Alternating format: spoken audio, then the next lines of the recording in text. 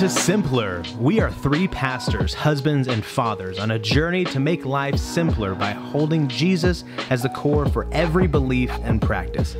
This journey has shaped us to be more like Christ, freed us from the shame of failure, and encouraged us to a deeper love of our Lord and God.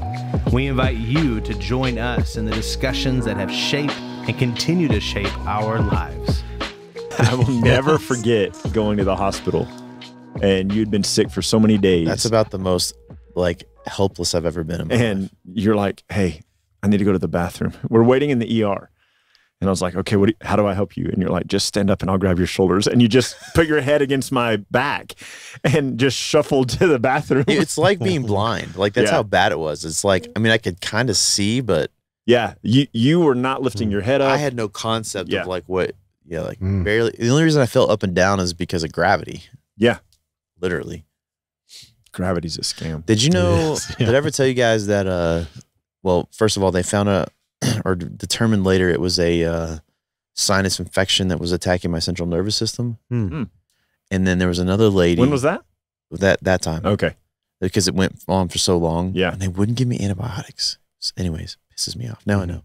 There's another lady, a friend of the Trujillos, um, that had the same thing and they didn't catch it. And now she has permanent damage to her central nervous system because Oh, they didn't treat it quick enough. And now she's like, I, I've wondered if this is like I did do some damage because of how quickly I get dizzy now Mhm. afterwards. Mhm. Um, but hers is like consistent. Like probably what Always you're feeling dizzy. now is like nonstop Oof. every single day Yeah. because it did damage. So now I'm like, if someone ever calls me again and says like I've been dizzy for a day, I'm gonna be like, tell your doctor to give you antibiotics right now. Yeah. Mhm. It, isn't that interesting how it changes, like our perspective changes on those kinds of things? Because I would be like, okay, so you're dizzy. You got a headache. You need some more water. You need some Yeah. sleep, Yeah. or whatever. And all those things could be true. Could be. But because of your experience now, you're going to be like, dude, like, and actually, I think I could. I think I could have a conversation with someone and figure it out pretty quick. Yeah. Like if it's like, oh, you're dehydrated or Sure. Mhm. you have an allergic reaction. but you those- have that experience now, which allows you to have another option. Mhm. So, um, uh, Michelle's mom had had been having some stomach pain. We took her to the ER, or she went to the ER, and we went up there like three or four times over an eighteen month period, and they couldn't ever find anything wrong. And um, so we started thinking maybe it was something dietary, Mhm. like causing just intestinal pain. So she started trying to be careful what she's eating, pay attention to what she's eating. Finally went in and just got, she said, Can I just be admitted to the hospital? Because they had scheduled a thing for her like six weeks out. She goes, Can I just be admitted to the hospital? 'cause then And- they'll do the thing. yeah. And then the hospitalist that was there, whoever it was, was like, Oh, I, I bet I know what this is. And like ran a test. I'm like, Yep, you have a you have a hernia that's caused this kind of like Oh little my gosh. perforation. Just or needed to whatever. get a doctor who had the experience to know what it Who was. knew? Yep. and and uh she had surgery a couple months ago and she's like like man i just i feel really good Huh. and it's Mhm. just poor lady had been like hurting this whole time and she would she would there would be things in her body or her activity that would aggravate the hernia and cause it to be really painful and then that would Mhm. send her to the ER and then she'd be fine for a few weeks and then Yeah. but finally somebody just had experienced it enough that they were like Yeah. hey i know what that is Yep. Mhm. and it's like, because I kept telling her, I was like, I, I told, I feel so bad. I was like, yeah, it's got to be something you're eating. Like, I'm just thinking, I'm not thinking it's something that she needs surgery for, but I just Right. didn't have the experience. So, so Well, it- now I'm like, all right, Yeah. put that in the memory bank and be like, I mean, it makes sense. But your Mhm. first thought would be you're allergic to something. yeah. Yeah. Yeah. And our, our bodies do change as we get Mhm. older and there's different, like, so I was just like, oh, yeah, we got to figure out what, what you're eating that's messing you up. Yeah. Here I am making my mother in law hurt. Come on, man. I know she's like so stinking sweet. Yeah. And I'm like, it's just what you're eating, okay? I know, Wow. jerk. You're a jerk. Let's go to the PCC. Let's do it. Come on over to Pierce's Culture Corner, everybody. All right. So, uh, what I want to do is just kind of like give the rundown of kind of what's going on in Texas, at least at this time. This is a few weeks before this episode airs, so things may have changed. But uh, Pornhub was suspended. Sorry, excuse me. Pornhub suspended their service to Texans, arguing a state law infringes on adult rights to access protected speech. So I've seen I've seen the headlines and things going around. I've seen clickbaity type of stuff. Wait, what was that statement again? Uh, Pornhub has suspended service to Texans, arguing a state law infringes on adults' rights to access protected speech.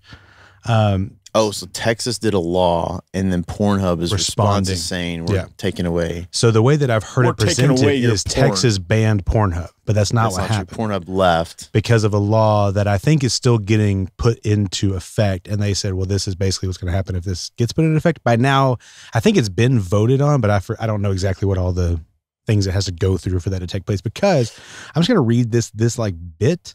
My question is kind of what they're getting at is that the law is infringing or sorry, constricting free speech is the language they're using. So I put, I got some like summary statements I didn't realize porn was free speech. dude there's there's like a whole por- part of this article porn part of this article corn of this article that um highlights how adult entertainment has been like the catalyst of all culture and i'm like Come on. okay Like, Come uh, on. i so, yeah so like we can have the conversation if you want to but we don't need to anyway No, come on. so uh, this is from Justice John Paul Stevens. He wrote, "As a matter of constitutional Whoa, whoa. John Paul Stevens? I know, isn't that crazy? Uh, as a matter of constitutional tradition, in the absence of evidence to the contrary, we presume that government regulation of the content of speech is more likely to interfere with the free exchange of ideas than to encourage it. Basically, if, if the government gets, Wait, gets who in- is who is John Paul Stevens? uh, Justice John Paul Stevens wrote the majority of the this opinion in the Reno versus American Civil Liberties Union. So I haven't read the entirety is entirety he a of the. Supreme Court justice? um, I don't know. We can Google that. I've though, never heard that sure. name before. but I don't- I Um, also don't know if I know all I the had, names I had of a the neighbor, justices. neighbor Sure. named uh, John Paul when Um, I was a kid. he may have just been one of the ones that presided over Reno versus American Civil Liberties Union. Um, but I can look that up for sure. But he could have been in the Supreme Court because the next thing I have I don't know who else is a justice. So that's I thought. Anyways, go ahead. Uh, next one is uh, I didn't I forgot to copy and paste his first name, but his last name is Goldman. Goldman said the Supreme Court has already ruled on the regulation of online obscene materials in light of the Ginsburg, uh, which is the I had to put a summary for this. So what he means by that is a Ginsburg v somebody or something. It's the nation's high, highest court case that decided. Uh, that, that children could be constitutionally denied access to material that was quote harmful to minors. Um, so in the Ginsburg case, the the Supreme Court decided that they could intervene and say that this is harmful to minors and they could be constitutionally denied access. Goldman also said that that the nation's highest court determined that the internet was different than the offline world and that the two cannot be treated the same way. So even within that case, they're acknowledging differences between mm-hmm. uh, physical objects mm-hmm. or online objects. So then he says he maintained Texas's age verif- verification requirement is categorically unconstitutional because it forces all users to complete a mechanical process before accessing protected material, which can slow people down as an and act as a barrier to content. Hmm. Goldman added that it drags down the earning potential of publishers and adds costs to the users who create content. So I tried to just get a blurb of this whole entire article that I read. Uh, and so I know that some of this may be taken out of context for sure, but this is basically his whole stance is this has been decided on that the, that the government can interfere, but offline and online things, uh, goods are different. And then he says that it has, if we put a process between the adult trying to get the on the adult material, then it is hindering them briefly, and so therefore we shouldn't put a law into effect because it's hindering their rights to free speech my initial concern the the content's still there for you to consume Right. there's an added step for you to get that content i think i think a highlight a bigger part of what he says is it drags down ad revenue because you're not getting all the ad revenue for all the people the point that he makes They there. don't feel that way about guns. and that's what i'm that's like that's why i feel weird that i don't feel like it's constraining i don't feel like it's constraining a right i feel like it is Yeah, but they're not is- arguing with guns. They're not arguing free speech is being infringed upon. But some people, so like the right to bear arms, right? Have people made that argument that like, well, I have to do a back, or I have to fill out whatever, whatever Okay. paperwork, or You, you can't go into certain casinos or bars. Mm-hmm. Yeah, at a certain age, Yeah. I mean, my point is, there's there's restrictions, and it doesn't. And keep, even- it doesn't keep the other people who have to show their ID from going in. and Correct. the online stuff.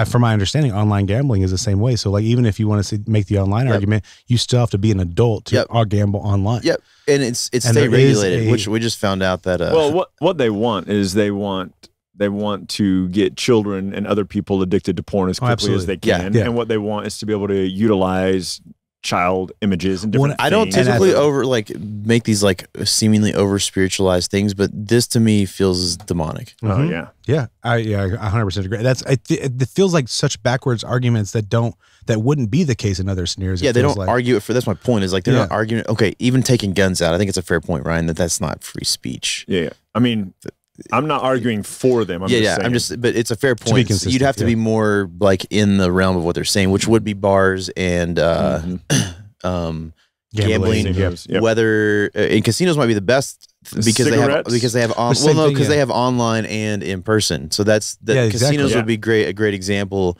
If they're not fighting for it with casinos, then Yeah. Where Yeah, yeah, where yeah, is true. it then? Which I, I side based, note, based it's funny to me last that they still say adult films and then are arguing that it shouldn't just be for adults. Yeah, it's well. What's so weird that this feels so backwards to me too. This was like a, this was in response, like as a pro, like yeah, we should fight for our free speech. This wasn't a bias on the other side. I tried to avoid some of the Christian articles that are, uh, just to see like what is how is the world perceiving this. And so that was the quote they decided to give out. Hey, the adults can be minorly inconvenienced, and that's hindering their free speech. That feels like a snowflake type of statement. Like if I've ever heard Well, one, like is. so, like what, that's to do with really your kids. argument. Yeah. So like, and the, I think I think Or the last speech. Line, I think the last line gives it away for sure. He added that it drags down the earning potential. If you rip away underage uh, kids looking at these porn sites, how much ad money are you're actually going to make? And so like, yeah, I'm assuming they do it like YouTube based on views. Mhm. I'm And assuming. I would, I mean, I would assume so as well, or or just numbers of clicks, or however much, how long the eyes stay on a certain part of the site. And so, Mm. like, if you go down, I mean, even even if I know this is nowhere near the stats, but let's just say thirty percent now, thirty percent of your revenues pulled away. Of course, you're going to have this sort of argument yeah. in in court. Like, of course, you're going to have these things. So, um, I don't. My first thought is I don't feel like this is constricting free speech, but rather putting up barriers that we've already put up in other areas. Exactly like you said, gambling, um, and like and like you had mentioned as well, you can still order uh, tobacco and alcohol online. There's still a barrier you have Oh, to go to true. to do Mhm. that. And That's so, true. like to obtain those goods online, there's a barrier you have to go to.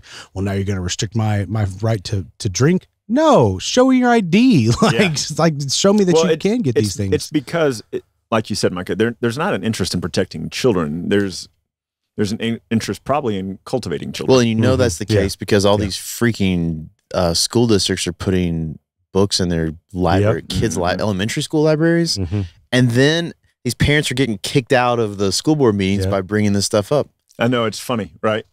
Like that. Yeah, so it's my ridiculous. freaking kid. You they're coming in and they're reading the book in a school board meeting, and then the school board's shutting them down, going, "You can't Yeah. read that book in here." Well, My- then why in the talk, world yeah. is my it? favorite is the black pastor from like North Carolina who does Mm. this, and he's got this like real eloquent voice, and he's reading these books, and I'm like, this is amazing Yeah. because it's awkward, and he keeps coming back and doing it, and he makes it awkward. Oh, it's so good. I love it. Yeah. I will be that guy here if they do that. Someone tell me, do we have books like that in SAST? Well, I was going to ask too, like, what is? I know that we're going a little long. I apologize, but like, what what is the definition of like a banned book? And so, like, I was talking to him about this the other day because I saw a list of of banned books in the U.S. and I was like, I know for certain this book isn't banned in the U.S. I know that they probably pulled it out of some schools. They probably don't allow it in some certain libraries. But this book isn't. I can still go purchase that book. So, like, right. what I guess what is the definition of banned? Is it just if it's banned I have in no one? idea. I Probably, was probably depends on the argument the person's trying to make. yeah. 'cause- it's 'cause one of the probably books- similar to marijuana. It's Okay. a federally banned substance, but states legalize it. So like yeah, yeah. you're not going to get in trouble from the state authorities, but you could get in trouble from a federal Yeah. authority. So if like Mertzen ISD says like we won't allow that book here, now all of a sudden it's on the banned list because one one library. Well, I don't think that's what that means. Oh, okay. I think that's like a I think that's like a federal thing. I got you. I got you.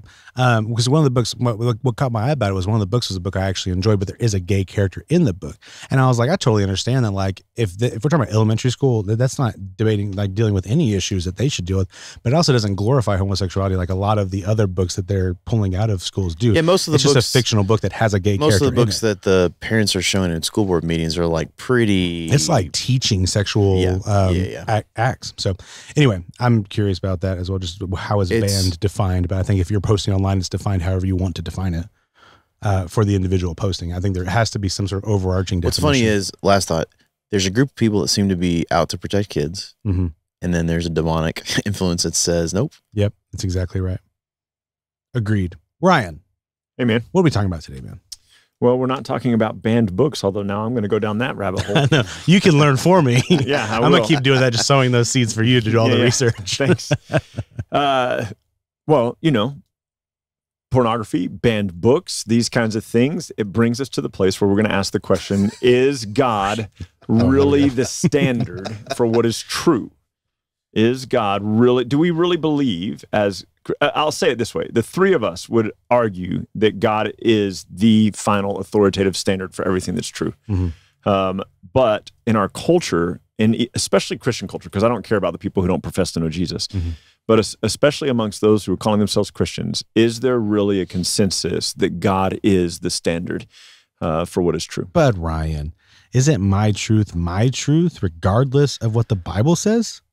So, Mike, I was thinking that it's probably time we fire him. I mean, it could help our budget out a lot. That's true. Yeah, that's very true.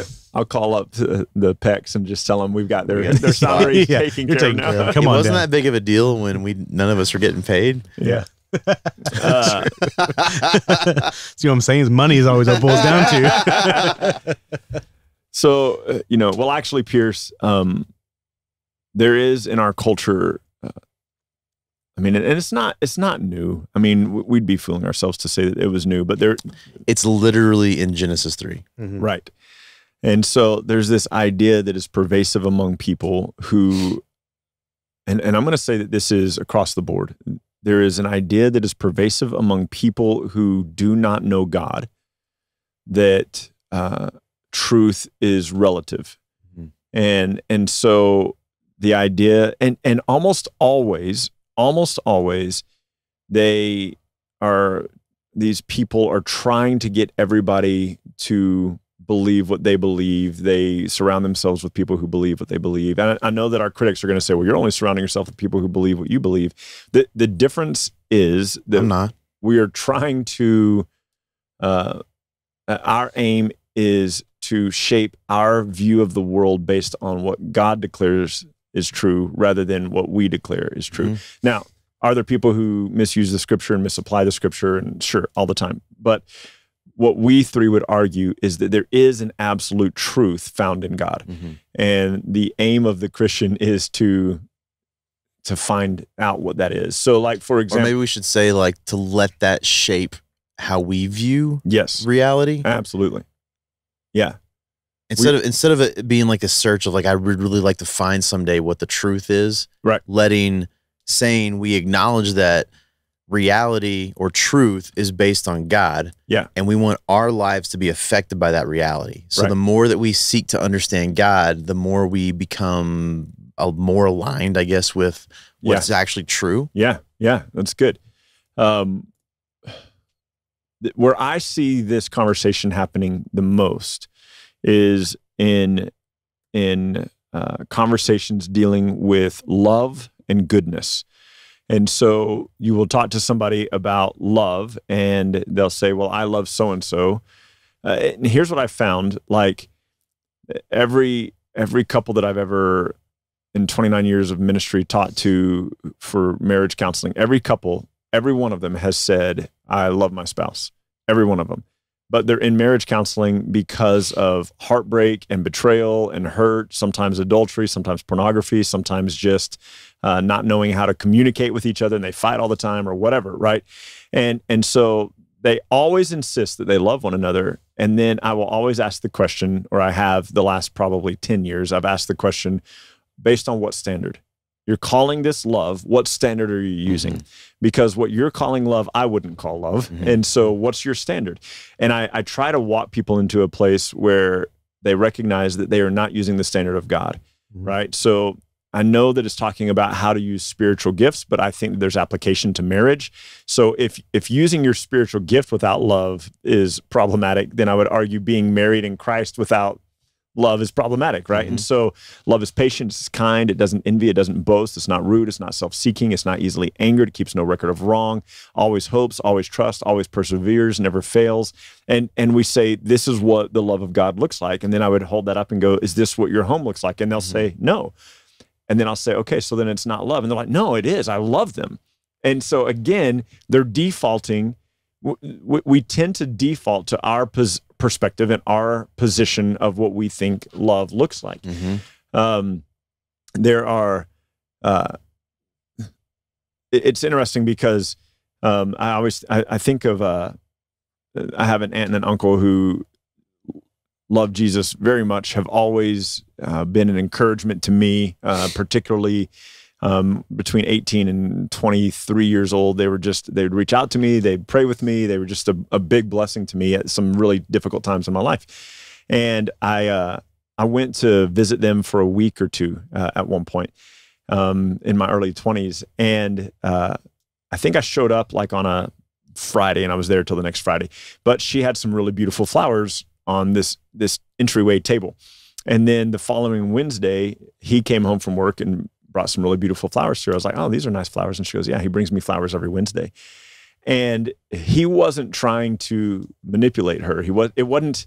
He wasn't like he just he brought her flowers every week. He just, Mhm. you know what I Mhm. mean? Like there was, uh, and you could see that the way they spoke to each other and the way, like there was, there was a genuine affection for one another, and it it was more than 28 years ago now 25 years ago now and it like it had kind of this indelible mark on how i think. And i don't buy michelle flowers every week but what it made me want to do is so like expensive. yeah but but what it made me want to do is go like this is a person i love i want to show them mm-hmm. care. And so what we ought to do as as christians is go okay how does god show us love? So i i mm-hmm. took it a clue from my uncle and it helped shape a little bit how i treat my wife.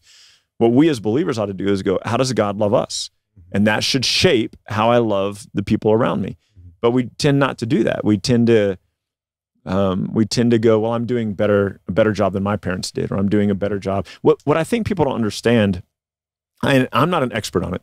Um, I, I went to India when I was 23, and it's culturally acceptable for male friends to walk down the street holding hands, and it's not Same in the Philippines. yeah, okay. So not culturally acceptable for a husband and wife to walk down the street holding Mhm. hands. Um, it is. I don't know if that's the same in the Philippines or not, but yeah. Uh, culturally acceptable for a husband to be verbally and physically abusive to his wife and to his kids, right? Culturally acceptable. And we would go, we would say, man, that's not loving. But most of the time, we mm. we are deciding what's loving or not loving based Cultural. off off of our culture or our experience. Yeah. And we can't do that. There, there's not room for us to do that as believers. yeah, like that's a great point. That it's like uh, it tends to be culturally based. Our Yeah. viewpoint of love. and and they would say no no i love my wife i love my kids you know that's why i'm doing these things and we disagree with them based on a cultural position and what we have to do as christians is put aside our cultural Yeah, so position actually, the question you should probably ask now when people say that is, do you mean a cultural love or a biblical love? yeah yeah Because I think they're two different things. sure mm-hmm. I Well- was thinking about this when you were talking about that. I think that there is there is something that a husband and wife feel that is probably not love, but there is some kind of bond. Oh, you know what? An example similar to when last episode we were you were talking about the feeling you had about your dad. There was Mhm. some kind of connection that um, you felt towards your dad, even though he had given a rip about you your entire life. Like you probably couldn't describe that, right? Like you couldn't Right. you couldn't identify like why do I feel different about my dad than I do anybody else who's treated me like this in the same way that uh, there's that feeling and I think what people do in our culture here in the US or in the West is we typically just say that's love. Like you have some kind of like love for your dad that's unexplainable, right? yeah We use it as kind of a generic term. Mhm. And that's probably what you're getting at, right? yeah is that we we can describe it like that, but that's not actually what love is because if God's the definition of love, Right. then love looks different than that. You can Right. say the word all you want. Yeah. And so we're actually ta- that's what I mean. I think we're actually talking about two different loves. exactly yeah One's a cultural viewpoint to Right. your point about India, which is a great point of what love would look like there, and then um and then a viewpoint of like here's set up in the scriptures. This is God showing an example of what love is. Mhm. So if you were gonna say I feel love for somebody, this is how it would be expressed. Because I think that can. mm, maybe I'm I'm struggling not with our conversation or like debating you. I'm struggling a little bit understanding what that feeling is that people are expressing. You know, like you've had Yeah. couples come in, you're just saying this to you before, said, No, I love my spouse. Right. And you're like, but there's nothing, there's nothing in your life that shows that love. Mhm. From a biblical perspective, yeah. Yeah, yeah, sorry. Yeah, from a biblical perspective, there's nothing that is in line. Like you say, I love this person. I, I've said this forever. Like it doesn't matter what you say in that moment. Yeah. If it's contrary to what you do, you bring this point up a lot, and I think it's a great point. If if a husband is having ten affairs and then he says, "I'm getting better because now I only have nine affairs," Yeah, that's ridiculous. it's ridiculous. So I guess same. It doesn't matter if you say, "Well, I still love my wife even though I'm sleeping with nine other women." yeah, You obviously don't, or you wouldn't be sleeping with the nine other women. Right. If that makes sense yeah, um, that might be differentiated. Let me do the same example, a similar example of someone who who believers. One of the spouses commits an, commits adultery, has an affair, which I think we've said before. We don't want to use that word anymore. That was back in the day, but has a sexual relationship with someone that's not their spouse. Yeah. gets caught in it, um, repents, recognizes their stupidity, sets their heart back on Jesus, reconciles with their spouse, and moves forward. That's a different scenario than yes, that might be someone I might say, I think you do love your spouse. Yeah. Because of your response. Mm-hmm. yeah, You weren't being loving in that moment, but I think you really do love them because of how you like that's a Yeah. different situation than the guy who's like, No, I really do love my wife and I'm still sleeping with these nine other women and I'm Yeah, yeah. refusing to change. That's it's that's a very extreme example of what you deal with when someone's like, right. I love my wife, but I'm I'm gonna verbally batter her consistently, whatever you know, whatever they're saying to you in, in marriage counseling. yeah, You're saying you don't actually love your wife, but Yeah. they're they're kicking back because they're like, no, I Their feel cultural- I feel something for her that's inexplainable. And Yeah. I think that's what I'm there's a, struggling with. there's a familiarity that that happens. Like, look, you there's a fam- like, uh, I mean, uh, when you've invested time with somebody, like, because as people, like, if you think about it, we don't invest a lot of time in other people. Like you and I, Micah, have known each other for 22 years. We don't socialize a lot. The three of us, we don't socialize a lot to, Hmm. with each other. Um, beyond beyond this stuff. Yeah. yeah, yeah. So we get together to do the podcast. We get together for staff meeting. We get together on Sunday mornings. We're the first three people at church on Sunday mornings. But like, and and we've come over to your house for dinner, and we're gonna, you know, go to your little girl's birthday party George or should whatever. do that more. Um, we probably should. But my point being, the friendship that we have formed over the years Mhm. is deeper than most friendships that Yeah. people Absolutely. have. Right. I don't think any of us feel like we're not friends because we don't hang out all the Hundred time. percent. Yeah.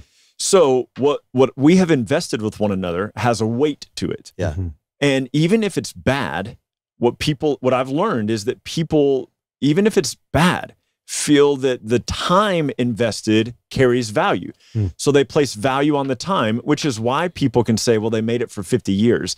Uh, married, even though most of those years were miserable, but they made it 50 years. So people value time. Mhm. And so it, it's like the inside jokes and the little moments that you have and the little glimpses, you know, that you have of joy or blessing or whatever. Like, like the number of people who said to me, well, you know, like he's still your dad. And they would say that about my dad. Well, he's still your dad. So you should want a good relationship with him. I'm like, why? Mhm. Like, like, th- does it res- does it really matter? And like, well, he's your dad. And so we place value on these kinds of relationships that from the outset weren't biblical. Right. So so I value this person that I'm married to because of the time we've invested, but not because of how God values them. Yeah.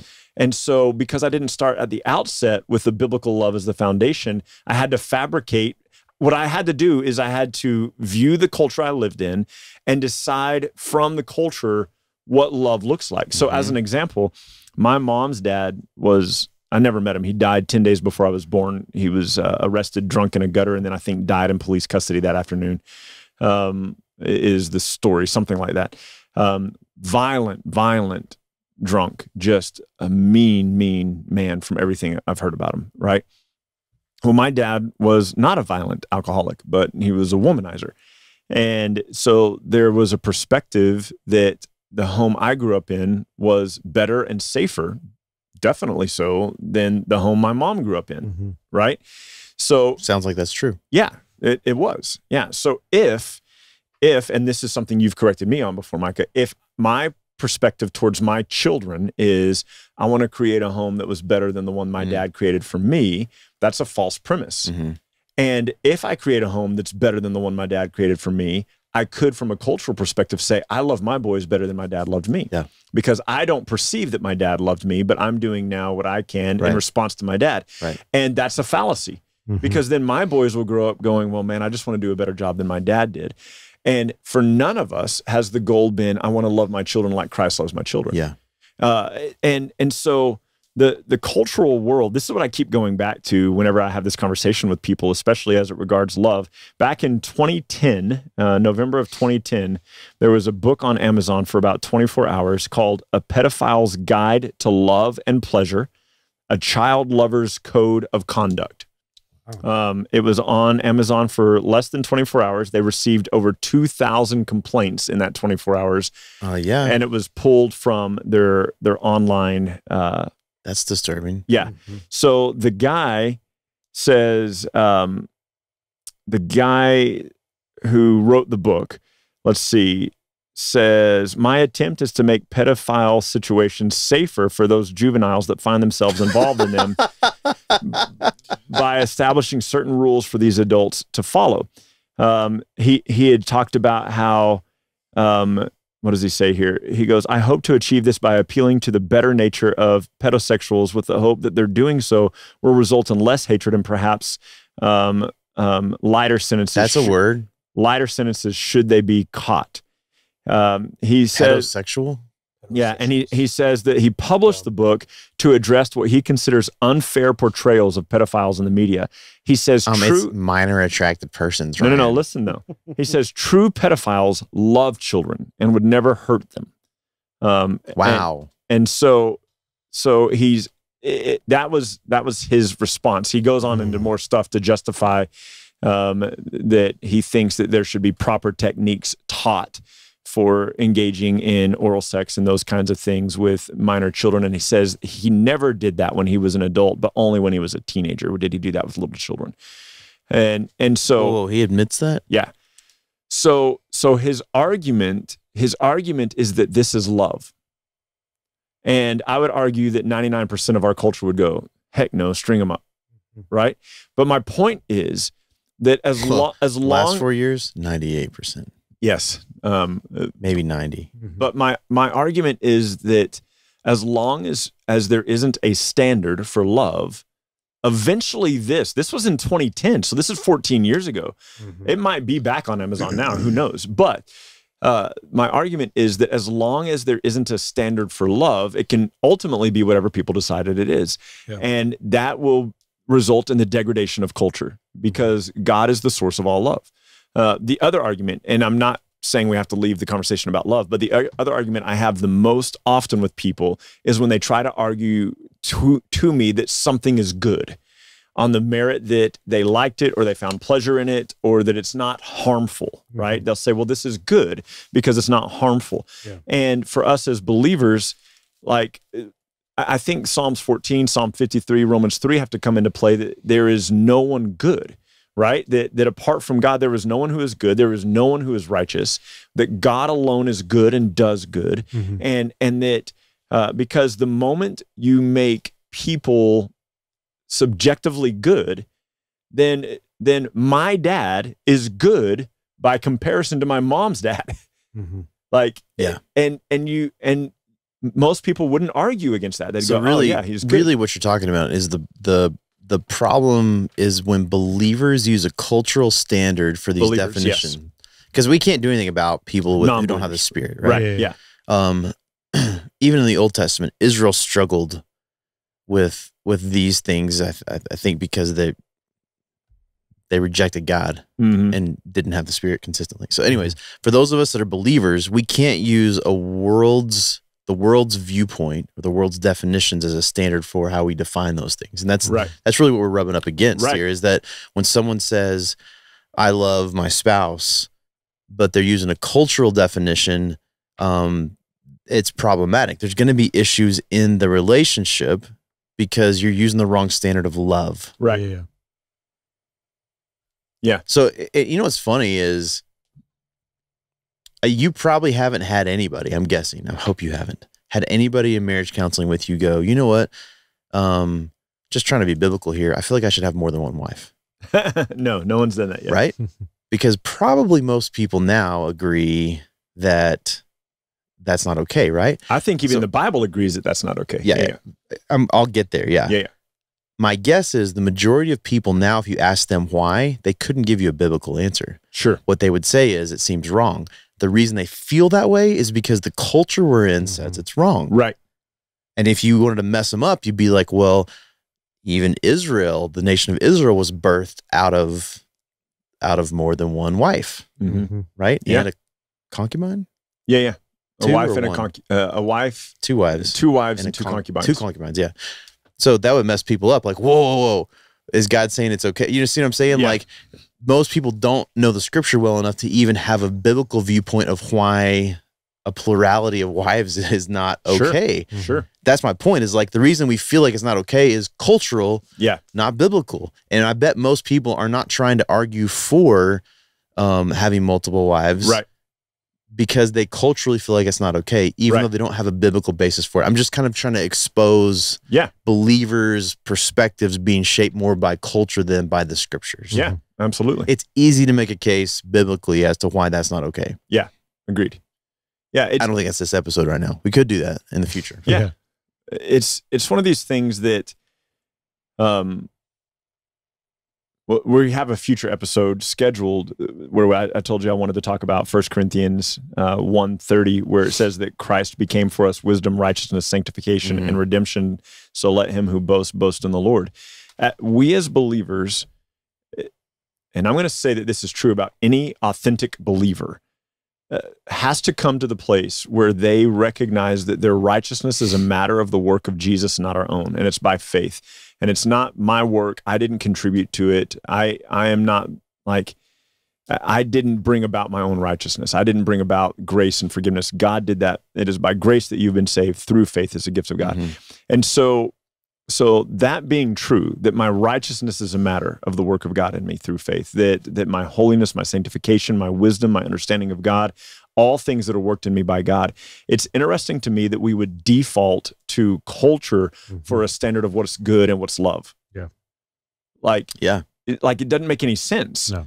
And and so why don't we hold love and goodness uh, to as high as a standard as we do righteousness? Because we care about the culture more than we care about Jesus. Mhm. That's at least a reason. It could be the only reason. Do this is a legitimate question. I don't I don't have a thought on this yet, but it's just what came to mind. So I have mentioned in the past that growing up, what I felt was taught was put faith in Jesus because you need him to go to heaven, you need him so that your sins can be forgiven. And then here's an introduction to the law so you can be a good Christian.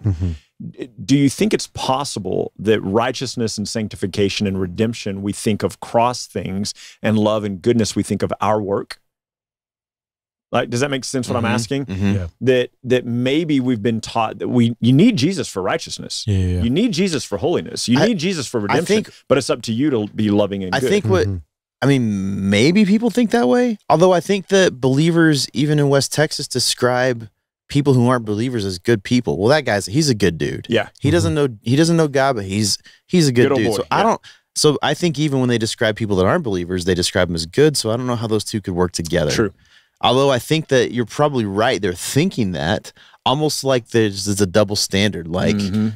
but that I don't understand either. Like, why does that do good? yeah. Well, yeah. There's Which- a, there's a sense of morality I don't- that that we've adopted that that person's ticking most of the boxes. I don't I don't even think I mind I don't think I mind the expression of it that eh, maybe this is contrary to what the Bible says is good. So Mhm. I'm acknowledging that, right? Yeah, yeah. I think that that could be a word or phrase that culture uses to describe somebody. I'm not necessarily negating. Mhm. That guy's he's Mhm. he's a good guy. Yeah. I I I've Yeah, said that about you, people. You get a call from somebody. You work at a company. You get a call from somebody, and they're like, "Hey, so and so interviewed with us. What do you think of them? Oh, they're a good worker. They're a Yeah, good. yeah. He's he's a good dude. I Yeah. I, I've said that about people with, and I haven't thought in that moment. I'm trying to use the context of what the scriptures calls good. So Sure. I, that's what I mean. I'm acknowledging that there's a maybe a distinction in language there. Agreed. Maybe it needs to shift. I'm acknowledging that as well. But I, I think that that's where the trouble comes in is because Now, if I I've said that about people, uh, he's a good dude who's not Yeah. a believer. Now, if I'm trying to describe goodness from the scripture, it's problematic because I've just used the word in a different way. and and maybe maybe it comes down to us just being smart enough to handle it like um where if the three of us were looking to bring on a fourth pastor uh, or elder if we're looking and obviously this it wouldn't happen this way because it would be somebody we know really well but uh, but let's pretend that we're trying to bring somebody on somebody recommends somebody to us and the per it's uh Britton Carter recommends someone to us and Britton goes he's a good dude that we have an idea of what Britton's probably going to mean by that. This Yeah. is somebody Yeah. who's walking with the Lord. This is somebody. If it's if it was my dad who didn't know Jesus and say, "Oh, this guy's a good dude," I know what that my dad means by Yeah. that. Mhm. Yeah, yeah. Um, but maybe maybe it's incumbent upon us who are pursuing the Lord to ask that question in those conversations, like to to to make that a clear a clarifying Oh, point. like what do you mean? Yeah. Because if our Right. aim is to know God and make him known, like to be people who represent Christ well, and somebody comes up to us and we're not sure where what they mean by good, Mhm. and they say so and so's a good person, we can say because they know Christ or culturally, like what do you mean by that? Yeah. Um, and have the conversation. I don't know that it works every time, but No, that I feel like that one's actually more difficult than love yeah, because I think that well, maybe not. Maybe love is more deeply rooted. I'm just thinking language. Like it's, I Yes. feel like it's easier to make a distinction, um, biblically. yeah, Like here's what love looks like. agreed. Good is like a like a little more ambiguous. It in is, terms yeah. of that. But it, I think it's important because if if someone says, um, this thing's good, Yeah. gosh, that's hard too. Because Well, I'm going to say Titus, like, Titus talks several times about like doing the good deeds of of God and those kinds of things, and so We should do a deep dive on this because I think that this could be another episode we should do on like what is what is biblical goodness or like what is Mhm. it to do good? Because I'm even thinking like it's difficult with language, with English at least, because I'm gonna say, oh my gosh, that ice cream was so good. Yeah. Right. You know what I mean? Or that Dr. Pepper was good. Like right It- in the same way that we talk about I love such and such. you yeah. know, or yeah, I loved that movie. Yeah. So it's maybe it's uh it's it's hard because because when when someone says to you in marriage counseling, I love my spouse, they're not talking about I love in the same way that I loved the movie. right, absolutely. It's a different description. Yes, and well, and in the Greek, uh, even though the Greek New Testament only uses three of them, in the Greek language there were five different words used for love. So they were they were able to make it a little bit more precise. Yeah, We're- we, we don't have make it more precise. right. Yeah, but I, I do think that that especially okay. Let's move aside from goodness for a moment. I I think especially all right. Sorry. Okay. I know we're all having problems with this one. So, so one of the things that I like to say is that uh, God is love. First John four. Uh, love exists in the person and the character of God. Also, God is good. That exists in Mhm. the person and the character of God, and it exists. Both of those exist in the person and the character of God prior to creation Mhm. because they exist in the person and character of God. And so mankind was made on day six. And whether you take a, a literal day perspective of that or a long time perspective of that, the point is that love and goodness existed prior to mankind Mhm. because love and goodness exist in the heart of who God is, Mhm. right? And and so that's that's what we're pursuing we're pursuing an understanding of what is what does that mean this thing that Mhm. exists outside of who i am this thing that exists outside of my scope of experiences and knowledge what is it that exists in the very heart of god that is loving that is good and and so it's um, this is how God demonstrates His own love for us, and that while we were yet sinners, Christ died for us. Like there is a uh, there is a love that is active, contrary to people's deserved Yep. treatment. Yep. Right. Uh, the goodness of God. One of my favorite verses. I'm going to misapply, or I'm going to give the wrong reference probably, but it's something like one song, uh, sixty eight, something like that, that says God is good and does good. it's 67. Is it? I'm just kidding. I don't know. Okay. I'm just messing with you. uh, but but the Lord is good and does good. Like everything that God does is good. yeah. Which which changes how we evaluate the flood story that's happening in Yeah. Genesis 7 Yeah. that God is good in that because he is destroying the wicked, right? There's a goodness in that that's inherent that Yeah. culturally, culturally people would say is wicked. Right. Yeah. I was I was gonna say the problem is is that we use our definition to to as a filter for Right. for God. Right. Mm-hmm. So people even say like I couldn't believe in a God who would Who do did these, these things. things. It's because you have a standard of what you believe is right and good. Yeah. And if if something doesn't fit that standard you've created, you're in essence setting yourself up to be God. Right. And so if, yeah, and if God is is perfect, holy, right, righteousness, I can't say embodied because he's spirit and not form, but like if and if then it would not be good for that holy, righteous God to endure wickedness. Yeah. And it would be good for him to deal with wickedness. Yeah. Yeah. But from a cultural perspective, we rise up against that and go, how could God do that? That's a mm-hmm. cultural response. And and so what I'm what I'm longing for in myself, and I don't know, Micah, is great questions about biblical good. I cannot wait for us to have these conversations. There are at least three topics I want to do with you guys, this one included, that I think we actually need to think on and talk Spend about a lot of time more talking, yeah. before we get to it. But what what I want to do as a follower of God is let him be the standard for how I think and approach life. And and his love and his goodness has to flow from him. Here's here's what we do. Day six, and I, I still lean towards a literal six days, but uh, day six, Jesus or God rather, well, Jesus, also John 1. So everything that's been made has been made through Christ, and nothing was, anyway, I don't have to defend that. So Colossians 1, John 1. So the, the Father and the Son created mankind, right? Love existed prior to that.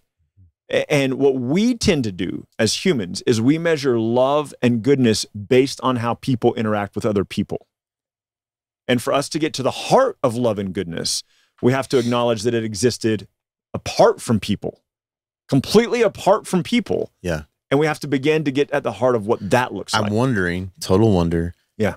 If the the viewpoint of like the cultural viewpoint of love you're describing Mhm. is like a tainted version of the real thing. I- yeah, So like it- it's an idol. Yo, yeah. Well, I mean, like there's there's an essence of the reality of of God's love in our viewpoint Absolutely. that is at the core, but it's tainted Yeah. because of sinful man. yeah, it's uh what's the word that I want? It's um tainted is gonna have to work because I can't think of the other word. But it's it's it's a it's a mutation of Mhm. of what that's not the word I want either. But yeah, It's- absolutely. Yeah, and so there's uh, maybe that's the we're, we're trying to what we're doing it's it's uh it's jeremiah 2 again um or yeah we're we're exchanging the holy for the profane Yeah. um yep.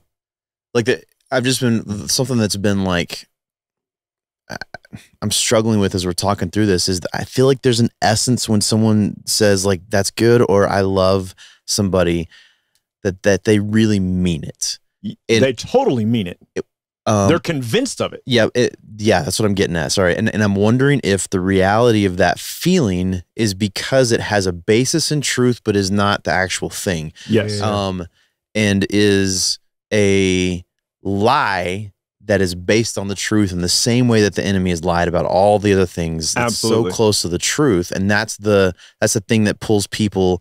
I think away from God towards things that are not God is because it it it uh it's it's it's Genesis as I said earlier Genesis three. Yeah. when when the serpent when Satan's like did God really say you shouldn't eat of that? It's questioning the truth of who God is. Right. Um and maybe that's the difficulty is like we feel we feel it so heavy because it has a basis in truth right. but is not truth because it's it's a tainted version of it a mutation whatever you want to call it. It's not the same thing. Well it, look we we're we're people who compare things right? We compare things. We talked about it on the last one or the one before that if your if your kid the first uh, couple of weeks ago i guess we we talked about uh if your kid is comparing their awards to the other person's awards then like comparison is the thief of joy. I don't remember who said that but whoever said that i agree. Uh i think you said that. no no no like it's a famous quote. Oh. He's Yeah. Micah. yeah. It was not me.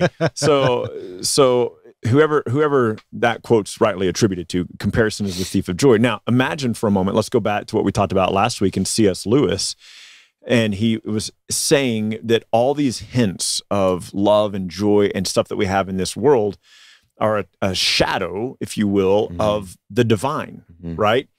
And he go, and he said it's a fragrance of a flower not seen. He he goes on to say it's the uh, it's the it's the humming of a tune you've not heard, right? It's like this this thing. So if if you don't have a correct perspective of God, then you're left comparing your standard of love and good to all the other standards of love and good around you, Hmm. and you're going yeah, and and you if you're completely honest, you'll say, oh man. What we're doing here is love and it's good and it's way better than the family that I grew up in. And then you might say, but man, it's not as good as as what Pierce and Hannah have. Like if I'm looking at Pierce and Hannah, man, I'm I want to be better. So we do that. The moment and and as long as we're doing that, is if I'm comparing myself to Pierce and Hannah, if I'm comparing myself to Micah and Cammy, then I'm going to feel proud or I'm going to feel like a failure or whatever. The moment we all compare ourselves to God, we go, okay, like this is Yeah. something dynamically different Yeah. and it and it forces us to recognize that our perspective is small Mhm. but as long as we're comparing ourselves to other people like it, th- this is this is why paul says or this is part of why paul says he, he goes um he goes i don't even convict myself he goes i'm not worried about what other people think about me i don't I don't even convict myself in this because before God I stand or fall. Like, Yeah. you know, it- Yeah, yeah. I'm paraphrasing there, but that's uh First Corinthians 10. And and he's like, I'm like, he's not comparing himself to other people. And he's like, man, it's it's before God that I stand. It's before God that, that these things are right. And so if we could get to the place where we we like you rightly correcting me months ago or years ago, Micah, saying it's not enough for you, Ryan, to to want to do a better job than your dad did. You want to you need to want to show your kids the gospel of Jesus.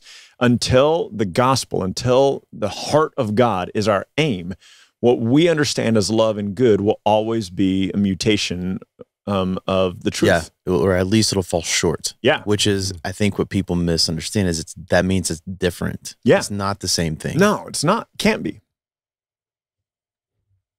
I there's just so many things rattling around in my head right now in terms of that because I think that like if you went if you went to I'm trying to think of an example if you went to this is a dumb example but if you went to Woodstock in '69 and you were like you guys don't actually love each other they would all be like They wouldn't believe you. no like Yeah. this is our definition of love or even the uh the the woke Methodist conference where Oh, yeah, yeah. you know that they would say this is more loving Mm-hmm. they would say it's more loving to be tolerable or accepting of everybody's viewpoint of sexuality and and like that's that's a definition of what you mean by love but Mm-hmm. it's bs And it's, Like it's, it's- based off of their standard. right Mhm. right and so that's my my struggle is like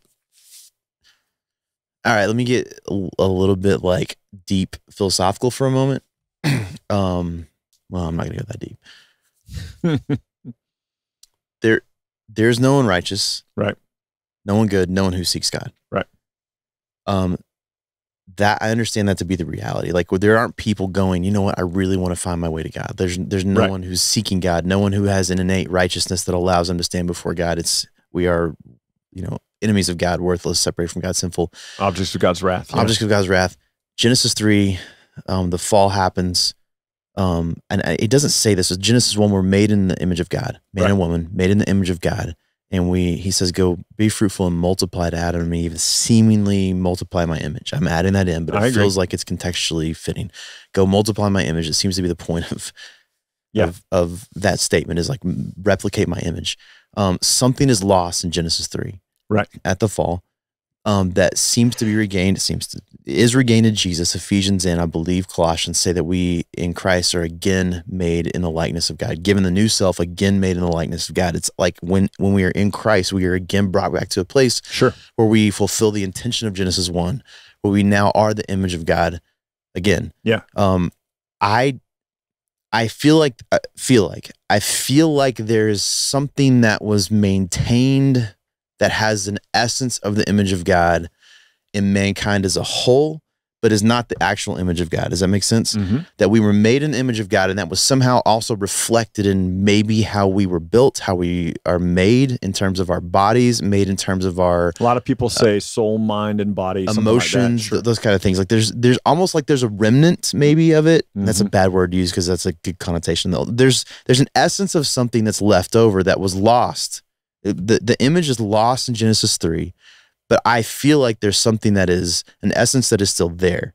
Okay. So I I wonder if again, this is just me throwing this out. I wonder if when someone is so stuck to saying I no, I really do understand love or that really is good, if there is an essence of people, I'm acknowledging no one's righteous, no one's good, no one seeks God, but that there's an essence of something in us that is like longing to be at the truth again, Mhm. to understand real love, to understand real goodness, to actually be the image of God again because the essence is still there. Like almost not that you want to, not that people who aren't saved want to be saved on their own. What I'm saying is like almost like you're saying, I'm longing to actually have a real love relationship, but I they're mm-hmm. not admitting this. They can't. You see what I'm saying? Yeah. Like th- it's longing for the truth, maybe, maybe similar to the God-sized hole in somebody's heart. I don't think it's the same thing Pascal was saying, but maybe the maybe the gist of what that's after of like there is something inside of us that like has a, an affection or affinity for something that is left over, if that makes sense. Maybe not for God in terms of a right relationship with Him, Yeah, I don't think it can be that.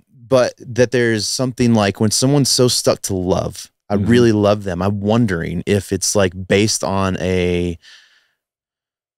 a feeling that is longing for the genuine authentic thing if that makes sense and then maybe that's my thought is maybe that's why people who don't know jesus can never be completely fulfilled in their love relationships is because it's a different standard it's an Yeah. idol it's not the real thing Yeah. Well, i don't know if i can know any of that that's just all the stuff that's been rattled around, rattled I mean, I would I would head. argue that the love of God is. I feel safe in saying this. Uh, that the love of God is is the highest thing that we can know. Like, Yeah. Well, Uh, and it's Ephesians 3 says he's beyond comprehension. yeah. So that that's the highest thing I think that we can know. Like Romans talks about it. Nothing can separate us from the love of God. Like, um, yeah. I- So if if love, and I think this is what our culture is pursuing, maybe the culture also agrees that love is the highest thing we can know, Mm. and and so they're just trying to pursue it apart from God, Mhm. and we're trying to pursue it in light of God. Yeah. Maybe that's a very shorter and simpler way of saying what I was trying to get at. Yeah. That they're, that it's like they're they're after almost like after the same thing. They just can't get it. Yeah, and they they recognize there's a recognition that love is the highest thing Hmm. that this world can offer. Hmm. Um, But it's the wrong standard. but it's the wrong standard, and it's the wrong origin. It's the wrong uh, you know wellspring, and so it it it leaves you unsatisfied, or dissatisfied, or not satisfied even. One of those. so is what you're saying, Micah? Because of humanity, like pre-fall, pre-sin, was created to enjoy the love of God, to enjoy fellowship and community and things like that. Um, now sin has tainted that, but there's still some sort of desire that's not necessarily. I was thinking seeking more God, image, not Okay. enjoy love or community or fellowship. because we were created in the image of God. Is I- that what you're saying? Yeah. I, again, my thought. I don't know exactly what that means holistically. Mhm. I do know what Ephesians and Colossians say that we are again made, given the new self, again made in the likeness of God. Yeah, yeah, um I yeah, so I don't think it's necessarily the relationship, but that there is something left over. That over. makes more sense. Yeah, There's yeah, something yeah. left over. Yeah, there, there. So I've I've said that for a while. I'm curious, like y'all's thoughts. on I, I haven't talked about it or preached it by any means, but like I, I've I've thought in those in those regards of like the way that people. I mean, I think you said it really really well, Ryan. Of just like there's still this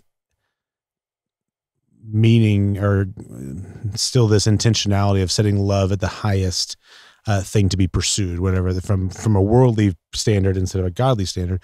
And I've I've said that in regards to love and relationships, but also in regards to like community, how there is still like even just the way psychologists Mm. study people who are Mm. left alone. I think that there's there is an innate need for community Yeah, in that's some in some regard. Yeah, where does Uh, that come from? I think that I think that I that see what you're bleeds from the image of God thing. So like I think for a while I've just in the back of my head thought of, yeah, we were created in the image of God and sin has tainted that, and we can't get back to that place on our own. Yeah, but there is yeah. still So, uh, so, look, so you're basically ex- expanding on what I was saying. You're Yeah. saying like not just like like who we are as what'd you say a second ago, mind, soul, and body. Yeah, something I- like I, that, don't know that I people say it. completely agree with that. yeah, but just as a for lack of a better way to describe that, you're actually saying, Pierce, to add on to that, that we were kind of created to be these certain kind of beings, like Absolutely, things sure. like community with other people, uh, love. Um, Yeah.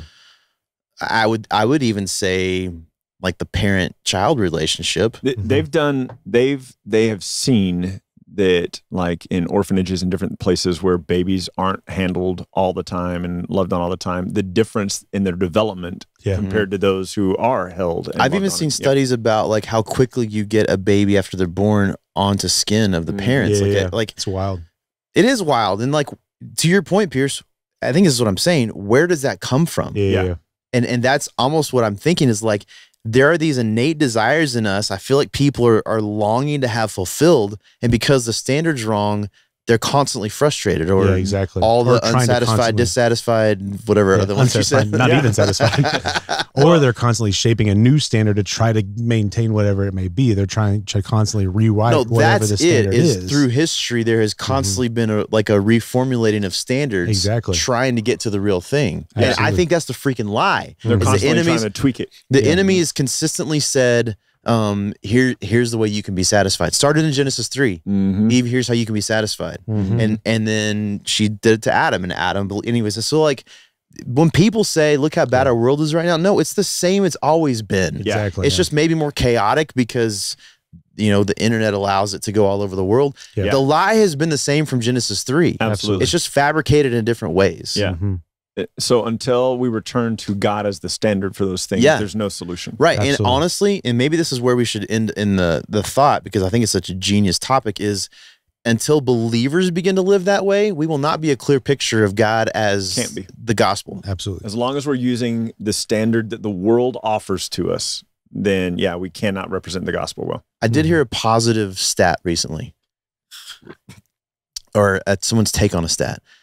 The the divorce rate in the church is not actually as high as people say it is, Hmm. because it is calculating for the people who get divorced over and over and over again. Hmm.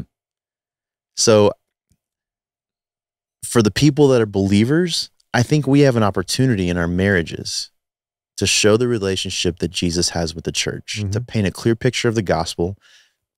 And as we Supposed continue to, to, yeah well, I think, no, I'm saying the opportunity. We have the opportunity, right? Yeah. When we take that opportunity, we are combating the lie of the enemy Yeah. by putting the gospel in the forefront yeah as this is this is the place that people find satisfaction. Because the reality is, I can't argue with someone who thinks they know love. Mhm. I can't convince them that that's not love. Right. What I can convince them of is that there's something better yes like the dissatisfaction you feel in your love what if i told you that could be fulfilled because god's love is even beyond comprehension that's how good it is. Mhm. yeah and it can be a reality Mhm. in your life in you your can have that Yeah. right now Yeah. i feel like that was a really messy way to get around to that like I liked it. simpler viewpoint Mhm. that's an example of a topic where we like kind of feel like we know what we're talking about and then we get into it and i'm like i don't well I, I i feel like there's i feel like we could do two or three more episodes on it you know yeah interesting Yeah, yeah, yeah. we'll revisit it in a year Absolutely. So maybe maybe a simpler viewpoint because you're about to ask me, Pierce. Mhm. That is, um, as believers, our standard um, needs to be God, Mhm. so that the world can see a clear picture of God in us. Yeah, yeah, yeah. Mhm. And and what you'd said as well, like within that is going to be the only place of satisfaction, like Yeah. The to the fulfillment of that, which is such a beauty. Like uh, from me looking from a from a practical standpoint as well, of just our relationship with the Lord is like now we are we are freed and have the opportunity to live out and dwell in godliness Yeah. which is like which is so beautiful i mean with with with with now even like with the perspective like continuing off this conversation of the mentality that we've been created in the image of god and we've been reconciled and restored and renewed in that is that now we're no longer like that that's an aspect of like freedom from sin. Like we're no longer chained to having to behave like the world. But not only have we been empowered uh, practically in regards to actions but our eyes have been opened. And we've been able to see how god has has very intri- uh, intricately intimately and like um intensely like i didn't mean to do all those Love but but i did it. Uh designed Southern Baptist certain yeah no right? designed certain things designed the design of marriage the design of of just I mean just just love in general how we love and interact with people how we enjoy uh, and interact with community and what our roles can be within that. Like how God has has made us to be we now are empowered to be and how much freeing that that is and how how beautiful that is um, and how impactful that is in regards to the power of the cross and the empty grave and the Holy Spirit within us, which is is beautiful. And I think that that too often, again, I think this comes back to the simpler mentality that we've been talking about for four years now, is like we overcomplicate so much of what we should do as Christians based off of our actions instead of just dwelling in, we talked about this last episode, the reality of who God's made us to be. I went back and revisited some some songs that I had written years ago and EPs that we written between 2011 and 2015. And I was just like, man, God, thank you for like shaping perspective that I had had back things. I was anticipating to go back and be these are the dumbest thing I've ever heard in my life. But there was like this, the, God was stirring up in my heart, like this mentality of like, embrace the reality of what, who God is and what he has done. And there's a couple, so that's the reason why Mark, who created a band later named Embrace, he was like, you use the word embrace a lot. I think part of it was the Lord was really clean, like pushing me, like, there's a whole chant at the end of one of the songs was embrace freedom, embrace reality. Like embrace the freedom we have in Christ and embrace the reality of who God is. And it's not like till now that I think that there's a lot of that put into action in regards to preaching, in regards to teaching, in regards to to to some of the individual people that I'm pouring into and things like that of just like this is who God is. Rest in it. Rest in who mm-hmm. God is. Rest in mm-hmm. who God's made you be because that's the foundation. Not what anything we can do, but who Christ is and what he's done. So Absolutely. What was your band name? Uh, I was in a band called In One Accord that, right. that traveled That's a bunch. Yeah. Which is so funny because Spotify has merged a gospel band called In One Accord and, and our In One Accord account. Wait, merged? Yeah. So like I'll pull it up real quick. So if you look Wait, is for this the In One Accord group that I used to show you pictures of to mess with you? It was might- like a it- bunch dude, of it might bunch be. of older ladies. Oh no, it's it's it's a Oh, that's it's funny. a so there there's our two EPs and then there's He Will Provide, which is That's awesome. which is so funny. It's a giant group of people, like it's a like choir. it's like a black choir, yeah, which is great. You know, that sounds good. so you've got these white metal heads and this this black church choir, which is great. I, I want to know who's more surprised. Like when people who are trying to listen to which one you want to record are more surprised. we should do that. That would be so funny. I'm gonna say- see the Who are you looking for? I'm gonna say it's the other people that are more shocked Yeah, than yeah, your yeah. people. yeah, Yeah. right. That's so funny. Oh man, that's Oh. good. So yeah, cool. Uh, I'd like to do you- an AI s- generated version where we took a video of the other In One Accord Yeah. and then did your Put music, the music over into the it. top. It'd be so good, man. That'd be so funny. Oh, cool. Sweet. You've done a simpler review. You've done all the fun stuff. Do you guys have anything to add to that? It's a good episode. That was fun. I like this episode. Yeah. I like I like all of our episodes, but this one I enjoyed the conversation. I really like that we have a list of future episodes too, because I get so stressed sometimes, Yeah. and I'm like, "Crud, what are we going to talk about next time?" Yeah. Well, you know who doesn't stress me out? That's Steven. Steven, we're at the Garden Audio as always. Steven takes care of all the audio here at Simpler. So if you want to uh, find him on social media at 87 Realty Group, that's him and his wife's realty team, go tell him thank you for the episode. Or if you just want to leave a comment wherever you're watching or listening, just showing Steven some love. He's awesome. He's great. Uh, while you are over at the social medias, we are at Simpler Pod. All of our social medias, as well as uh, personal and extended social medias of the of the simpler community and just us as individuals is all tagged in the show notes below. So you'll find um, you'll find Simpler Pod, you'll find Simpler Bible, you'll find all of our personal pages, you'll find links to uh, Eagles Wings as well as with the the Eagles Wings ministry, excuse me, the disc golf ministry group that uh, Micah teams up with and goes on uh, professional um, to, to professional tournaments and things like that to to preach the gospel, to build community. Uh, go learn more about the ministries and the groups that's, that's going on in the Simpler community. It's awesome. And if you want to be involved in in a in a financial way or in a deeper way or however, whatever that looks like, shoot us some messages. There there are opportunities to message on social media. Uh, reach out through the different websites, Simpler Bible website, through Micah's personal ministry page all these different ways to get connected. Um, and it doesn't just have to be Simpler Podcast, but if that's all you're interested in, we're excited that you're here. We're excited you're a part of it. You're excited that you're, excuse me, that you're a part of the Simpler community. Hey, as always, keep Christ as core. What could be simpler than that? catch y'all in June. Bye.